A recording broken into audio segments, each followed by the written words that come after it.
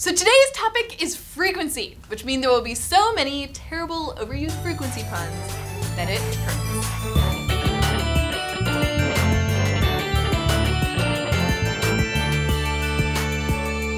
Before we get started, don't forget to click the subscribe button and to click the little bell to get notified every time we post a new video. We'll get started with a super meta science reminder of the day. Everything around you is a signal that you can measure and use in some way. So today we're going to be talking about frequency, one of the biggest tools you can use to describe those signals that are happening in the world around us. The definition of frequency is pretty simple. A frequency is the number of times that something, literally anything, happens over a period of time. Think of the word frequent. A higher frequency means something is happening more frequently. If you go to the bathroom three times in a one hour class, that's a frequency, and also a sign that your teacher needs to be a little more entertaining. If you jump on a bed 250 times in seven minutes, that's a frequency too. To make things easy, it's most common to use the standard unit, hertz, hence my bad puns, to describe frequency. Hertz are nice because they're defined as one per second. So if I jump on a bed three times in one second, I jumped at three hertz. For now, it's important to remember that frequency describes a repetitive pattern or event, like jumping up and down, turning off and off a light, Tom Brady scoring touchdowns. Sorry, I was raised in Boston, I have an excuse.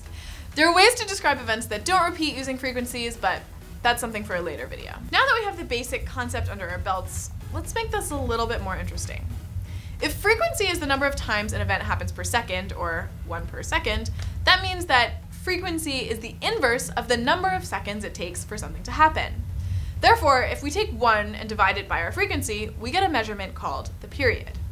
To jump back to my bathroom break example, if you go three times in an hour, that period is 20 minutes, the amount of time between each bathroom break. The period measurement is also super useful. For example, if you jump on a bed or make an LED blink five times per second, which is 5 hertz, how long is the wait between blinks? The answer is the period of the signal. In this case, 1 divided by 5 hertz, which is 0.2 seconds. So all you have to do is remember that frequencies describe repeating patterns and period is the measurement of how long one repetition takes from start to end. Okay, so let's get a little bit mathy for a second here. Rolling up the sleeves for the math. Let's say that a street lamp is flickering at 10 hertz. That means it blinks 10 times each second. 1 divided by 10 hertz gives us a period of 0.1 seconds. In a slightly harder example, now the lamp blinks on for 1 second, then off for 3 seconds. So what's the new frequency of the blinking light?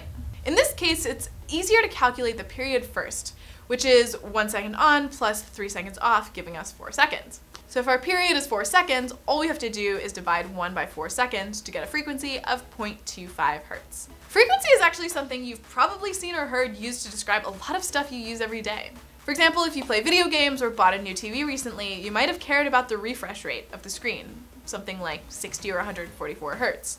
This is the number of times that your screen is refreshed with a new image per second. High frequencies make motion look smoother.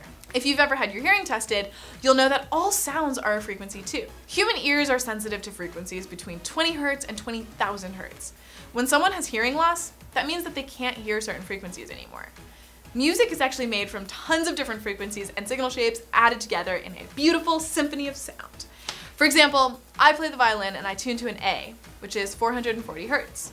How we're able to make music using bolts of lightning from the Tesla coils. To make you hear an A, all the Tesla coil has to do is shoot 440 lightning bolts per second. Let's play a bit with period and frequency using LEDs and a speaker.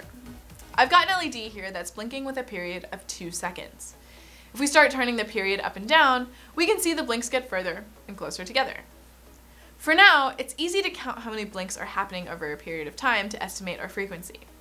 Once we start turning our period down to the 0.1 second range and smaller though, it gets a lot harder.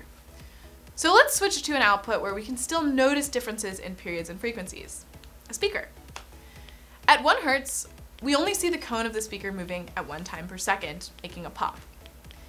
As we turn up the frequency, we notice that the pops become closer together, making sounds that are more and more like music notes.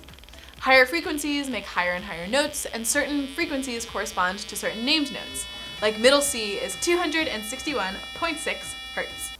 The last thing we want to mention in this introduction to frequency is the idea of a waveform. We talked a bit about how frequencies describe repeating patterns and these patterns are called waveforms. Depending on what you're working on for a specific project though, you'll need different waveforms with different characteristics. We're going to be looking more in depth at different waveforms in the next couple of weeks, so stay tuned. But if you want to get ahead, or you just love geometric identities, I don't know, now's a good time to look up what sine and cosine are. Hopefully this was a helpful introduction to frequency. We've got a high frequency of content just like this lined up for the next couple of months with a period of one week. So if you enjoyed this video, you should give us a like and click that subscribe button if you haven't already. Down in the description below, you can find the link to our super awesome merchandise store, where you can support our 501c3 nonprofit by buying sweatshirts, socks, and more. Signing off, this is Xyla with Andrew behind the camera.